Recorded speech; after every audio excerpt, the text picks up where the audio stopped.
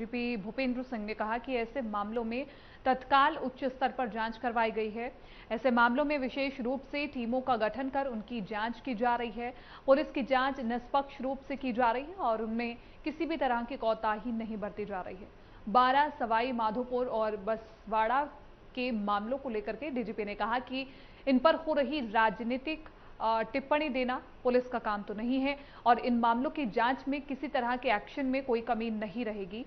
इन मुद्दों पर फ़िलहाल जाँच चल रही है। जब जाँच चल रही हो तो उसका निष्कर्ष भी अभी नहीं निकाला जा सकता है। ये जाँच को प्रभावित करता है। यौन अपराध बढ़ना हमारे समाज के लिए चिंता का विषय ज़रूर है। पुलिस होने के नाते हमारे दो काम हैं, घटना पर त्वरित जाँच शुरू करना और उससे न्याय दिलवाना। वहीं दूसरी ओर कानून की पालना करवाने का काम भी किया जा रहा है।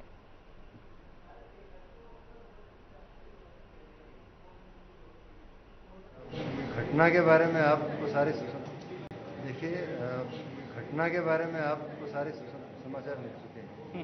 आप जो बारह जिला एस पी हैं उन्होंने भी अपने ब्रीफिंग में आपको सबको बता दिया है कि घटना क्या है।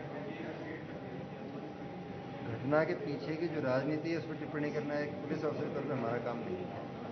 हमारा काम यही है कि जो घटना रिपोर्ट हुई है, उस पर कानूनी कार्रवाई की जाए, नियमानुसार की जाए। वो जैसे एसपी साहब ने बताया, कानूनी कार्रवाई की गई है। मुझे उनका इसमें, पुलिस की कहीं काम में कहीं या उनके एक्शन में कमी नज़र नहीं आ रही है। अब उसके, उसको लेकर, क्योंकि संयोग की बात है, अब मुख्यमंत्री ने स्वयं कहा अब कोई दो घटनाओं की तुलना आप खुद ही करके देख सकते हैं। घटनाएँ किस प्रकार की हैं, उनकी तुलना क्या की जा रही है? उनके साथ में जो जिस राजनीतिक उद्देश्य जुड़ा है, उसकी बात करना मेरे लिए संभव नहीं, उचित भी नहीं है। देखिए घटना के बारे में आपको सारे समाचार मिल चुके हैं। आप जो